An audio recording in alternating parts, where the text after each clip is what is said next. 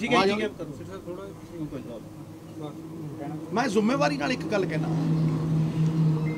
ਕਿ ਇਹ ਮਸਲਾ ਇਕੱਲੇ ਸੁਖਰਾਜ ਦਾ ਨਹੀਂ ਹੈ ਛੋਟੇ ਭਾਈ। ਇਹ ਮਸਲਾ ਨਿਆਂ ਦਾ ਹੈ। ਜਿਹੜਾ ਕਿ ਕਨਸਟੀਟਿਊਸ਼ਨ ਦਾ ਸਭ ਤੋਂ ਵੱਡਾ ਸਤੰਭ ਹੈ। ਜਿਸ ਰਾਜ ਦੇ ਵਿੱਚ ਨਿਆਂ ਨਹੀਂ ਉਹ ਰਾਜ ਕਿਸੇ ਕੰਮ ਦਾ ਨਹੀਂ। ਗੁਰੂ ਸਾਹਿਬਾਨਾਂ ਨੇ ਕਿਹਾ ਰਾਜ ਬਿਨਾ ਨਹੀਂ ਧਰਮ ਚਲੇ ਹੈ। ਧਰਮ ਬਿਨਾ ਸਭ ਦਲੇ ਮਲੇ। ਜਿਹੜੀ ਰਾਜ ਸੱਤਾ ਧਰਮ ਦੀ ਰੱਖਿਆ ਨਹੀਂ ਕਰ ਸਕਦੀ, ਉਹਦਾ ਕੋਈ ਵਕਾਰ ਨਹੀਂ ਹੈ। ਉਹਦਾ ਕੋਈ ਵਜੂਦ ਨਹੀਂ ਹੈ। ਉਹ ਕਿਸੇ ਕੰਮ ਦੀ ਨਹੀਂ ਹੈ। ਮੈਂ ਸੱਤਾ ਛੱਡ ਕੇ ਝੋਲੀਆਂ ਵੀ ਅੱਡੀਆਂ, ਚੀਫ ਮਿਨਿਸਟਰਾਂ ਦੇ ਅੱਗੇ ਡਟਿਆ।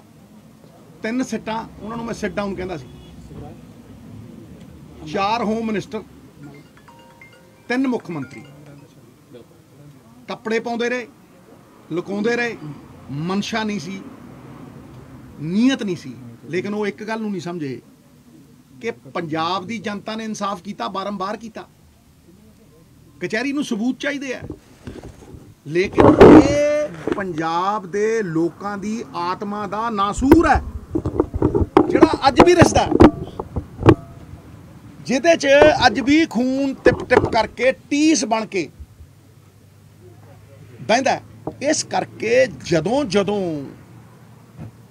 ਮੌਕਾ ਮਿਲਿਆ, ਚਾਹੇ ਉਹ ਫੁਟੇਜ ਰਿਲੀਜ਼ ਕਰਨੀ ਹੋਵੇ, ਚਾਹੇ ਬਠਿੰਡੇ ਹੋਵੇ, ਚਾਹੇ 75 25 ਦੀ ਗੱਲ ਹੋਵੇ, ਚਾਹੇ ਕਿਸੇ ਹੋਮ ਮਿਨਿਸਟਰ ਨੂੰ ਜਵਾਬਦੇਹੀ ਬਣਾ ਹੋਵੇ, ਚਾਹੇ ਜਾ ਕੇ ਜਿੱਥੋਂ ਸਰੂਪ ਚੋਰੀ ਹੋਏ ਸੀ, ਉੱਥੇ ਖੜ ਕੇ ਗੁਰਦੁਆਰਾ ਬੁਰਜਵਾਰ ਸਿੰਘ ਉੱਥੋਂ ਗੱਲ ਕਰਨੀ ਹੋਵੇ, ਮੈਂ ਇਹ ਮਸਲੇ ਨੂੰ ਚੁੱਕਦਾ ਰਿਹਾ ਕਿਉਂਕਿ ਮੈਂ ਇਸ ਪਾਪ ਦਾ ਭਾਗੀ ਨਹੀਂ ਸੀ ਬਣਨਾ ਚਾਹੁੰਦਾ। ਔਰ ਮੈਂ ਇਹ ਜ਼ਿੰਮੇਵਾਰੀ ਨਾਲ ਕਹਿਣਾ ਕਿ ਕਿਉਂਕਿ ਉਹ ਚੁੱਕਦੇ ਰਹੇ, ਬਾਰੰਬਾਰ ਲੋਕਾਂ ਨੂੰ ਸਜਗ ਕਰਦੇ ਰਹੇ, ਅੱਜ ਵੀ ਇਹ ਮੁੱਦਾ ਜਿਉਂਦਾ ਹੈ, ਲੋਕਾਂ ਦੇ ਮਨਾਂ 'ਚ ਜਿਉਂਦਾ ਹੈ। ਔਰ ਫੇਰ ਜਦੋਂ ਹੁਣ ਇਹ ਨਵੀਂ ਸਰਕਾਰ ਬਣੀ, ਤੇ ਤੁਸੀਂ ਦੇਖ ਲਓ ਕਿ ਜਿਹੜੇ ਕਹਿੰਦੇ ਸੀ ਕੱਖ ਨਾ ਰਹੇ, ਕੀ ਰਿਹਾ ਉਹਨਾਂ ਦਾ? ਤੇ ਜਿਹੜੇ ਇਨਸਾਫ ਦੇ ਨਹੀਂ ਸਕੇ ਚਾਰ ਹੋਮ ਮਿਨਿਸਟਰ ਬਣੇ। ਉਹਨਾਂ ਦਾ ਕੀ ਰਿਹਾ ਮੈਨੂੰ ਦੱਸੋ ਨਾ। ਲੋਕਾਂ ਨੇ ਉਹ ਇਨਸਾਫ ਕੀਤੇ ਆ ਲੇਕਿਨ ਅੱਜ ਵੀ ਮੈਂ ਪੁਰਾਣੀਆਂ ਸਟੇਟਮੈਂਟਾਂ ਚੱਕਦਾ ਔਰ ਮੈਂ ਕੇਜਰੀਵਾਲ ਸਾਹਿਬ ਦੀ ਸਟੇਟਮੈਂਟ ਜਿਹਦੀ ਬੁਨਿਆਦ ਦੇ ਉੱਤੇ ਅਸੀਂ ਮੁੱਖ ਮੰਤਰੀ ਲਾਇਆ ਸੀ ਔਰ ਨਵਾਂ ਬਣਾਇਆ ਸੀ। ਸਰਕਾਰ ਬਦਲੀ ਸੀ। ਉਹ ਬਹੁਤ ਵੱਡਾ ਮੁੱਦਾ ਸੀ ਇੱਕ ਨਵੀਂ ਸਰਕਾਰ ਨੂੰ ਲਿਆਉਣ ਦਾ, ਪਹਿਲਾਂ ਬਣਾਉਣ ਦਾ। ਅੱਜ ਨਵੀਂ ਸਰਕਾਰ ਦੇ ਜਿਹੜੇ ਸੁਪਰੀਮੋ ਨੇ, ਜਿਨ੍ਹਾਂ ਦੇ ਨਾਂ ਦੇ ਉੱਤੇ ਮੌਕਾ ਦਿੱਤਾ ਗਿਆ, ਉਹਨਾਂ ਨੇ ਕਿਹਾ ਕਿ ਭਾਈ 24 ਘੰਟੇ ਚਾਹੀਦੇ ਆ। ਰਿਪੋਰਟ ਹੈਗੀ ਆ ਕੁਮਰ ਵਿਜੇ ਪ੍ਰਤਾਪ ਸਿੰਘ ਦੀ। ਤੁਸੀਂ ਪੜੋ ਦੋਖੀਆਂ ਦੇ ਨਾਂ ਦਿੱਤੇ ਹੋਏ ਨੇ 24 ਘੰਟੇ ਚਾਹੀਦੇ ਸਜ਼ਾ ਯਾਫਤਾ ਕਰਨ ਦੇ ਲਈ। ਹੁਣ ਸਰਕਾਰ ਵੀ ਤੁਹਾਡੀ ਹੋਮ ਮਿਨਿਸਟਰ ਤੁਹਾਡਾ, ਮੁੱਖ ਮੰਤਰੀ ਤੁਹਾਡਾ ਉਹੀ ਬੰਦਾ ਜਿਹਨੇ ਰਿਪੋਰਟ ਤਿਆਰ ਕੀਤੀ, ਉਹ ਐਮਐਲਏ ਤੁਹਾਡਾ। 24 ਘੰਟਿਆਂ ਦੀ ਤਾਂ ਗੱਲ ਛੱਡੋ 20 ਦਿਨ ਨਿਕਲ ਗਏ, ਮੈਂ ਕਹਿੰਦਾ 2 ਮਹੀਨੇ ਲਓ। ਕਰੋ ਦੁੱਧ ਦਾ ਦੁੱਧ ਤੇ ਪਾਣੀ ਦਾ ਪਾਣੀ। ਗੁਰੂ ਦਾ ਮਸਲਾ ਹੈ, ਗੁਰੂ ਸਾਂਝਾ ਹੈ। ਜਗਤ ਗੁਰੂ ਜਗਤ ਗੁਰੂ, ਚਾਨਣ ਮਨਾਰਾ। ਸਭ ਦਾ ਸਾਂਝਾ, ਜੈ ਜੈਕਾਰ ਕਰੂੰ। ਜੇ ਇਸ ਮਸਲੇ ਦੇ ਵਿੱਚ ਕੋਈ ਸਟੈਪ ਚੱਕੂ, ਜੈ ਜੈਕਾਰ ਕਰੂੰ। ਨਹੀਂ ਤੇ ਮਿੱਤਰ ਪਿਆਰੇ ਬਾਰੰਬਾਰ ਯਾਦ ਦਿਵਾਉਂਦਾ ਰਹੂੰ। ਜਿਵੇਂ ਆਪਦੀ ਸਰਕਾਰ ਨੂੰ ਸਵਾਲ ਕਰਦਾ ਹੁੰਦਾ ਸੀ, ਇਸ ਸਰਕਾਰ ਨੂੰ ਵੀ ਸਵਾਲ ਕਰੂੰ। ਪਹਿਲਾ ਸਵਾਲ ਹੀ ਇਹ ਸੀ ਵੀ ਰੋਕਦਾ ਕੌਣ ਹੈ? ਤੁਹਾਨੂੰ ਰੋਕਦਾ ਕੌਣ ਹੈ? ਇਸ ਬੱਚੇ ਲਈ ਮੈਂ ਇਸ ਕਰਕੇ ਕਹਿੰਦਾ ਵੀ ਇਹ ਕੱਲਾ ਨਹੀਂ ਹੈ। ਆ ਥੋੜੇ ਦਿਨ ਪਹਿਲਾਂ ਮੈਂ ਇਹਨੂੰ ਰੋਂਦੇ ਨੂੰ ਦੇਖਿਆ। ਅੱਗੇ ਦੀਆਂ ਅੱਖਾਂ ਚ ਮਿਟ ਗਿਆ, ਜਦ ਮਿਟਨੇ ਵਾਲਾ ਫਿਰ ਸਲਾਮ ਆਇਆ, ਤਾਂ ਕਿਆ ਦਿਲ ਕੀ ਬਰਬਾਦੀ ਕੇ ਬਾਅਦ ਉਨ੍ਹਾਂ ਦਾ ਪਿਆਮ ਆਇਆ, ਤਾਂ ਕਿਆ ਇੰਤਹਾ ਹੋ ਗਈ। ਇੰਤਜ਼ਾਰ ਦੀ। ਸਮਝਦੇ ਹੋ? ਇਹ ਇੰਤਹਾ ਟੁੱਟਣੀ ਚਾਹੀਦੀ ਹੈ ਭਾਈ। ਰੱਬ ਦੇ ਘਰ ਵੀ ਦੇਰ ਹੈ ਹਨੇਰ ਨਹੀਂ। ਗੁਰੂ ਦੇ ਲਈ ਬੜਾ ਮਿੰਟਾਂ ਦੇ ਵਿੱਚ ਫੈਸਲਾ ਕਰਾ ਸਕਦਾ ਉਹ ਤਾਂ ਦੇਖਦਾ ਕਿ ਉਹਦੀ ਕਸੌਟੀ ਦੇ ਉੱਤੇ ਕੌਣ ਖਰਾ ਤੇ ਕੌਣ ਖੋਟਾ। ਹਜੇ ਤੱਕ ਤੇ ਖੋਟਾ ਹੀ ਨੇ। ਸਮਝਦੇ ਹੋ? ਜਿਹਦੇ ਕੋਲ ਐਡਮਿਨਿਸਟ੍ਰੇਟਿਵ ਪਾਵਰ ਉਹਦੀ ਜ਼ਿੰਮੇਵਾਰੀ ਹੈ। ਭਈ ਉਹ ਫੈਸਲਾ ਕਰੇ ਜਾਂ ਕਰਵਾਵੇ। ਔਰ ਜੁਰਤ ਨਾਲ ਕਰਵਾਵੇ। ਕੀ ਲਕੋ ਰਹੇ ਹਾਂ ਅਸੀਂ? ਸਮਝੋ? ਜਦੋਂ ਕਿਤੇ ਕੋਈ ਕਤਲ ਦਾ ਮੁਕੱਦਮਾ ਦਰਜ ਹੁੰਦਾ ਹੈ ਕਿਤੇ ਸਿੱਟ ਬਣਦੀ ਹੈ ਇੱਕ ਥਾਣੇਦਾਰ ਹੈ ਥਾਣੇਦਾਰ ਜਾਂਦਾ ਤਹਿਕੀਕਾਤ ਕਰਦਾ ਹੈ। ਜੇ 26 ਦਾ ਵੀ ਕਿਸੇ ਨੇ ਡਾਂਗ ਵੀ ਮਾਰੀ ਹੈ ਫੜ ਕੇ ਜੇਲੇ ਅੰਦਰ ਦੇ ਦਿੰਦਾ ਤੇ ਭਾਈ ਇੱਥੇ ਸਿੱਟ ਬਣਾਉਣ ਦੀ ਕਿਹੜੀ ਲੋੜ ਸੀ? ਦੇ ਸਿੱਟ ਤੇ ਸਿੱਟ। ਹਾਂਜੀ? ਜ਼ਰੂਰਤ ਕੀ ਸੀ? ਮੈਂ ਦੇਖੋ ਮੈਂ ਪੂਰੀ ਗੱਲ ਖਤਮ ਕਰ ਦਿੰਦਾ। ਜ਼ਰੂਰਤ ਨਹੀਂ ਸੀ। ਅਸਲ ਦੇ ਵਿੱਚ ਜਿਹੜੇ ਹੁਕਮਰਾਨ ਵੱਡੇ ਨੇ, ਉਹਨਾਂ ਦੇ ਤਾਰ ਜੁੜੇ ਹੋਏ ਨੇ। ਉਹਨਾਂ ਦੇ ਬਿਜ਼ਨਸ ਜੁੜੇ ਹੋਏ ਨੇ। ਇਹ ਮਾਫੀਆ ਬੜਾ ਡੂੰਘਾ ਹੈ। ਸਿੱਧੂ ਤੇ ਮਾਫੀਆ ਨਾਲ ਲੜਦਾ ਹੀ ਰਿਹਾ। ਇਹ ਇਹ ਸਾਰੀਆਂ ਸਾਂਝਾਂ ਹੀ ਬਿਜ਼ਨਸ ਦੀਆਂ ਨੇ।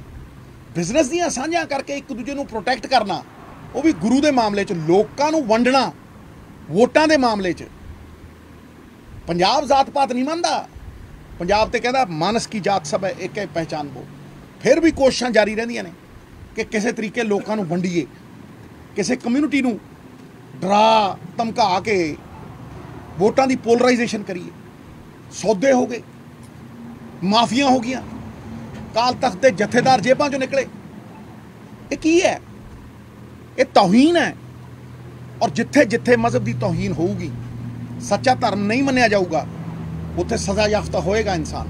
ਛੋਟਾ ਜਿਹਾ ਸਵਾਲ ਹੈ ਜੀ। ਇਸ ਕਰਕੇ ਮੈਂ ਸਾਰੇ ਜਿੰਨੇ ਵੀ ਐਮਐਲਏ ਸਾਹਿਬਾਨ ਅੱਜ ਆਏ ਆ ਅਸੀਂ ਅਸੀਂ ਦੁਬਾਰਾ ਫੇਰ ਆਵਾਂਗੇ। ਅਸੀਂ ਇਕੱਠ ਵੀ ਕਰਾਂਗੇ। ਜਿੱਦਨ ਇਸ ਬੱਚੇ ਨੇ ਆਵਾਜ਼ ਦਿੱਤੀ, ਅਸੀਂ ਆ ਕੇ ਇਕੱਠ ਵੀ ਕਰਾਂਗੇ, ਇਕੱਠ ਦੇ ਵਿੱਚ ਵੀ ਖੜ ਕੇ ਬੋਲੂੰਗਾ। ਔਰ ਸੱਚ ਬੋਲਣ ਦੀ ਜ਼ਰੂਰਤ ਹੈ ਕਿਉਂਕਿ ਨੈਤਿਕਤਾ ਹੈ। ਜਿਸ ਬੰਦੇ ਦੇ ਪੱਲੇ ਨੈਤਿਕਤਾ ਹੁੰਦੀ ਹੈ ਨਾ ਮੋਰਲ ਅਥਾਰਟੀ ਹੁੰਦੀ ਹੈ, ਉਹਦੇ 'ਚ ਸੱਚ ਬੋਲਣ ਦੀ ਜ਼ਰੂਰਤ ਨਹੀਂ, ਤੇ ਫੱਟ ਦੇਣੀ ਈਡੀ ਆ ਜਾਂਦੀ ਹੈ।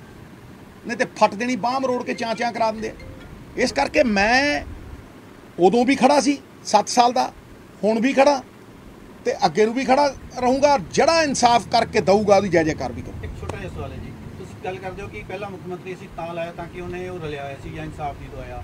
ਪਰ ਜਦੋਂ 3 ਮਹੀਨੇ ਤੁਹਾਨੂੰ ਮਿਲੇ ਚੰਨੀ ਸਾਹਿਬ ਬਣੇ ਸੀਐਮ ਅਸੀਂ ਏਜੀ ਬਲਨ ਤੋਂ ਬਿਨਾਂ ਹੋਰ ਕੰਮ ਹੀ ਨਹੀਂ ਕੀਤਾ। ਇੱਕ ਮਿੰਟ ਸੁਣੋ। ਕਿਉਂਕਿ ਉਹਨਾਂ ਦੀਆਂ ਅਸੀਂ ਬਲੈਂਕਟ ਬੇਲਾਂ ਤੱਕ ਰੱਦ ਨਹੀਂ ਕਰਵਾ ਨਹੀਂ, ਨਹੀਂ, ਦੇਖੋ, ਮੇਰੀ ਗੱਲ ਨੂੰ ਸੁਣੋ। ਰਿਪੋਰਟ ਦੇ ਵਿੱਚ ਆਈ ਮੇਰੇ ਕੋਲ ਕੋਈ ਐਡਮਿਨਿਸਟ੍ਰੇਟਿਵ ਪਾਵਰ ਨਹੀਂ ਸੀ। ਮੈਂ ਅਸਤੀਫਾ ਦਿੱਤਾ ਸੀ। ਕਿਉਂ? ਇਸ ਕਰਕੇ ਅਸਤੀਫਾ ਦਿੱਤਾ। ਕਿ ਭਾਈ ਜਿਹੜਾ ਤੁਸੀਂ ਐਡਵੋਕੇਟ ਜਨਰਲ ਲਾਇਆ ਉਹਨੇ ਬਲੈਂਕਟ ਬੇਲ ਦਵਾਈ ਹੋਈ ਸੀ। ਉਸ ਤੋਂ ਬਾਅਦ ਇਹ ਨਹੀਂ ਕੰਪਲੇਂਟ, ਤੁਸੀਂ ਕੰਪਲੇਂਟ ਨਹੀਂ ਪਾਈ। ਤੁਸੀਂ ਸੁਪਰੀਮ ਕੋਰਟ ਦੇ ਵਿੱਚ ਜਾ ਕੇ ਐਸਐਲਪੀ ਨਹੀਂ ਪਾਈ। ਵੀ ਇਹ ਤੋੜੋ। ਤਿੰਨ ਮਹੀਨੇ ਲੰਘ ਗਏ। ਤੇ ਜਿਹੜਾ ਤੁਸੀਂ ਡੀਜੀਪੀ ਲਾਇਆ, ਉਹ ਕਲੀਨ ਚਿੱਟ ਦੇਣ ਵਾਲਾ ਸੀ। ਸੁਖਬੀਰ ਦਾ ਤੇ ਸੈਣੀ ਸਾਹਿਬ ਦਾ ਬਲੂ ਵਾਈਟ ਬॉय ਸੀ। ਠੀਕ ਹੈ ਕਿ ਨਹੀਂ? ਉਹ ਕਿਵੇਂ ਲਾਤਾ? ਦੱਸੋ ਕਦ ਪੀਪੀਸੀ ਦਾ ਪ੍ਰਧਾਨ ਰਿਜ਼ਾਈਨ ਕਰ ਗਿਆ ਹੋਵੇ। ਉਸ ਮੁੱਦੇ ਦੇ ਉੱਤੇ ਰਿਜ਼ਾਈਨ ਕੀਤਾ, ਉਹ ਦੋਨੇ ਬਦਲੇ ਗਏ। ਤੇ ਜਦੋਂ ਦੋਨੇ ਬਦਲੇ ਗਏ, ਉਸ ਤੋਂ ਬਾਅਦ ਫਿਰ ਕੋਈ ਕਾਰਵਾਈ ਹੋਈ। ਬਰਗਾੜੀ ਦੀ ਫੇਰ ਨਹੀਂ ਹੋਈ। ਤੇ ਮੈਂ ਬਰਗਾੜੀ ਦੀ ਆਵਾਜ਼ ਫਿਰ ਚੁੱਕ ਰਿਹਾ। ਜਦ ਤੱਕ ਜਿੰਦਾ ਰਹੂੰ, ਜਦ ਤੱਕ ਰਗਾਂ 'ਚ ਲਹੂ ਹੈ, ਗੁਰੂ ਸਰਵੋੱਚ ਹੈ, ਮੇਰੇ ਮਾਪਿਓ ਤੋਂ ਵੀ ਉੱਚਾ ਹੈ। ਇਸ ਕਰਕੇ ਗੁਰੂ ਦਾ ਨਾਮ ਹਮੇਸ਼ਾ ਬੁਲੰਦ ਕਰਦਾ ਰਹੂੰ। ਸਾਡਾ ਚਾਨਣ ਮਨਾਰਾ ਹੈ। ਜੇ ਗੁਰੂ ਮਨਫੀ ਹੋ ਗਿਆ, ਸਾਡੀ ਜ਼ਿੰਦਗੀ 'ਚੋਂ ਰਹਿ ਕੀ ਗਿਆ ਫਿਰ? ਇਸ ਕਰਕੇ ਨਾ ਉਦੋਂ ਡਰੇ, ਨਾ ਅੱਜ ਡਰੇ। ਅੱਜ ਤੇ ਚਲੋ ਉਦੋਂ ਤਾਂ ਇਕੱਲੇ ਲੜਦੇ ਸੀ, ਮੁੱਖ ਮੰਤਰੀ ਲਾਏ, ਠੀਕ ਹੈ? ਅੱਜ ਤੇ ਦੇਖੋ ਸਾਥੀ ਕਿੰਨੇ ਨੇ। ਅੱਜ 40 ਬੰਦੇ ਸੀਗੇ ਕਾਂਗਰਸ ਦੇ। ਕਿਉਂ ਖੜੇ ਨੇ? ਕਿਉਂਕਿ ਅੱਜ Congress for honesty and Congress for credibility ਭਾਈ ਕਿਰਦਾਰ ਵਾਲੇ ਬੰਦੇ ਚਾਹੀਦੇ ਨੇ। ਜੇ ਇਹਨਾਂ ਨਾਲ ਲੜਨਾ ਨਾ ਹੁਣ, ਕਿਰਦਾਰ ਵਾਲੇ ਬੰਦੇ ਚਾਹੀਦੇ ਆ। ਸਭ ਤੋਂ ਵੱਡੀ ਗੱਲ ਹੈ ਇਮਾਨਦਾਰੀ ਚਾਹੀਦੀ ਹੈ ਸ਼ਕਤੀ ਪ੍ਰਦਰਸ਼ਨ ਹੀ ਅੱਜ ਕਰਤਾ ਬਿਲਕੁਲ ਨਹੀਂ। ਅਸੀਂ ਅਸੀਂ ਪੰਜਾਬ ਦੇ ਮੁੱਦਿਆਂ ਦੀ ਪਹਿਰੇਦਾਰੀ ਪਹਿਲਾਂ ਵੀ ਕਰਦੇ ਸੀ ਤੇ ਅੱਜ ਵੀ ਇਹੀ ਪ੍ਰਣ ਲਿਆ ਵੀ ਪੰਜਾਬ ਦੇ ਮੁੱਦਿਆਂ ਦੀ ਪਹਿਰੇਦਾਰੀ ਕਰੇ। ਕਾਂਗਰਸ 'ਚ ਕੋਈ ਧੜਾ ਨਹੀਂ। ਮੈਂ ਪਹਿਲੇ ਦਿਨ ਦਾ ਕਹਿੰਦਾ ਮੇਰਾ ਕਦੇ ਵੀ ਕੋਈ ਧੜਾ ਨਹੀਂ। ਇਹ ਮੇਰੇ ਘਰੇ ਆਏ ਮੈਨੂੰ ਕਹਿੰਦੇ ਕਿ ਆਪਾਂ ਅੱਗੇ ਵਧੀਏ। ਨਿਰਾਸ਼ ਤਾਂ ਹੋਣਾ ਹੀ ਨਹੀਂ। ਤੇ ਮੈਂ ਤੇ ਕਦੇ ਵੀ ਨਿਰਾਸ਼ ਨਹੀਂ ਹੁੰਦਾ। ਹਾਰੇ ਆ, ਖੈਰ ਯਾਰ, ਹਾਰੇ ਆ, ਮਰੇ ਥੋੜਾ ਨਾ। ਸਮਝੋ ਨਹੀਂ? ਇਸ ਕਰਕੇ ਅੱਗੇ ਵਧਣਾ ਜ਼ਰੂਰੀ ਸੀ। ਸੱਚ ਤੇ ਹੱਕ ਦੀ ਪੰਜਾਬ ਦੀ ਆਵਾਜ਼ ਚੁੱਕਣੀ ਜ਼ਰੂਰੀ ਸੀ। ਸ਼ੇਰ ਤਾਂ ਪੰਜ ਹੋਣ ਝੁੰਡ 'ਚ, ਉਹੀ ਬਹੁਤ ਹੁੰਦੇ ਨੇ, ਪਰ ਉਹਨਾਂ ਦੇ ਪੱਲੇ ਨੈਤਿਕਤਾ ਹੋਣੀ ਚਾਹੀਦੀ ਆ ਤੇ ਬੱਕਰੀਆਂ ਤੇ ਭੇਡਾਂ, ਮੈਂ ਕਹਿੰਦਾ ਲੱਖਾਂ ਹਜ਼ਾਰਾਂ ਕਰ ਲੋ ਕੋਈ ਵੀ ਹੱਕ ਕੇ ਥੱਲੇ ਸਿੱਟ ਦਿੰਦਾ। ਇਸ ਕਰਕੇ ਹੁਣ ਕੰਕੜ ਪੱਥਰ ਨਹੀਂ ਤਰਾਸ਼ਨੇ, ਹੀਰੇ ਤਰਾਸ਼ਨੇ। ਅੱਜ ਕਿਹੜੇ ਕਿਹੜੇ ਐਮਐਲਏ ਤੁਹਾਡੇ ਨਾਲ ਇਸ ਅ, ਮਾਮਲੇ 'ਚ ਸਹਿਮਤ ਹੈ? ਮੇਰੀ ਗੱਲ ਨੂੰ ਸੁਣੋ ਸਾਰੇ ਹੀ ਸਹਿਮਤ ਨੇ ਜਿਹੜਾ ਨਹੀਂ ਸਹਿਮਤ ਹੋਊ ਜਿਹੜਾ ਨਹੀਂ ਸਹਿਮਤ ਹੋਊ ਉਹ ਪੰਜਾਬ ਨਾਲ ਨਹੀਂ ਸਹਿਮਤ ਹੋਊ। ਮਾਮਲੇ 'ਚ ਕਿਹੜਾ ਨਹੀਂ ਦਾ ਪ੍ਰਧਾਨ ਅਗਰ ਤੁਹਾਨੂੰ ਦੁਆਰਾ ਥਾਪਿਆ ਜਾਂਦਾ ਤਾਂ ਮੈਂ ਕਿਹਾ ਇਹ ਇਹ ਇਹ ਇਹ ਯਾਰ ਇੱਕ ਮਿੰਟ ਯਾਰ ਠਹਿਰ ਨਾ ਯਾਰ। ਮੈਂ ਗੱਲ ਕਰਦਾ ਸਮੁੰਦਰ ਦੀ ਯਾਰ ਤੂੰ ਗੱਲ ਕਰੀ ਜਾਂਦਾ ਛੋਟੇ ਛੋਟੇ ਜੇ ਉਹ ਕੀ ਕਹਿੰਦੇ ਹੁੰਦੇ ਨੇ ਖੂਹਾਂ ਦੀ ਟੋਬਿਆਂ ਦੀ। ਪਤਾ ਦੀ। ਪਤਾ ਦੀ ਕੋਈ ਗੱਲ ਹੀ ਨਹੀਂ ਹੈ ਇੱਥੇ। ਇਹ ਗੱਲ ਸਿੱਧੀ ਹੈ ਨਿਆਂ ਦੀ ਗੱਲ ਹੈ। ਇਹ ਗੱਲ ਪੰਜਾਬ ਦੇ ਕਲਿਆਣ ਦੀ ਗੱਲ ਹੈ। ਪੰਜਾਬ ਦੇ ਕਲਿਆਣ ਚ ਸਿੱਧੂ ਦਾ ਔਰ ਇਹਨਾਂ ਸਾਰਿਆਂ ਦਾ ਕਲਿਆਣ ਹੈ।